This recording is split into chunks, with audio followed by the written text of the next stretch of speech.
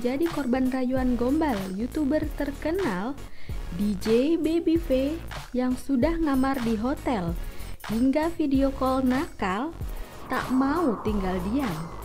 Janji kolaborasi YouTube tak pernah terwujud. Baby V ungkap pengakuan mengejutkan. Tak hanya berkoar menjadi korban PHP YouTuber. Berikut pengakuan aksi tak main-main DJ Baby V yang meminta pertanggungjawaban karena merasa dilecehkan. Bukti foto dan bukti chatting. Panas hati dianggap panjat sosial karena curhat di media sosial. DJ Baby V beberkan bukti foto ngamar bareng YouTuber di hotel. Semua kejadian yang dialami bukan ngarang Sederet bukti chatting bermuatan mesum dengan youtuber ternama itu sukses bikin ternganga.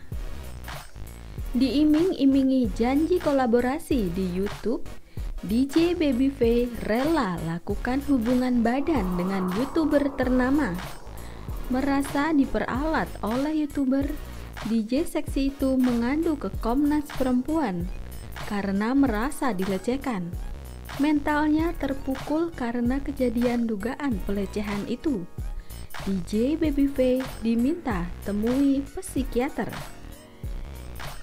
Sumpah pocong masih rahasiakan sosok youtuber ternama yang merayunya. DJ Baby V yang dituding berbohong menantangnya sumpah pocong. Bila foto dan bukti chatting tak membuat youtuber jerah, DJ Baby V meminta Sumpah Pocong disiarkan langsung agar bisa buktikan siapa yang berkata benar dan siapa yang salah. Mengumpulkan korban YouTuber Bukan hanya DJ Baby V saja yang menjadi korban rayuan gombal YouTuber ternama itu.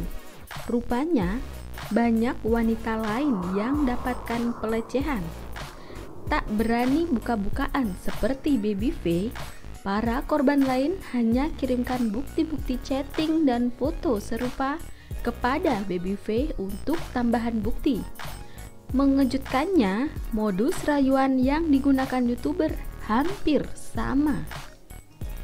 Sewa pengacara Walau belum melaporkan YouTuber kerana hukum, namun DJ Baby V sudah siapkan pengacara masih menunggu permintaan maaf dan pengakuan terbuka si pelaku. DJ Baby V belum mau lapor polisi. Bila youtuber terkenal masih menyangkal dan diam, maka cara terakhir dibawa ke jalur hukum. Demikian ulasan kami. Kalau sahabat One Air punya tanggapan atau pendapat, jangan ragu-ragu untuk menyampaikannya di kolom komentar. Juga subscribe dan aktifkan belnya supaya mendapat notifikasi dari unggahan terbaru kami. Sekian dan terima kasih. Salam sejahtera, satu udara.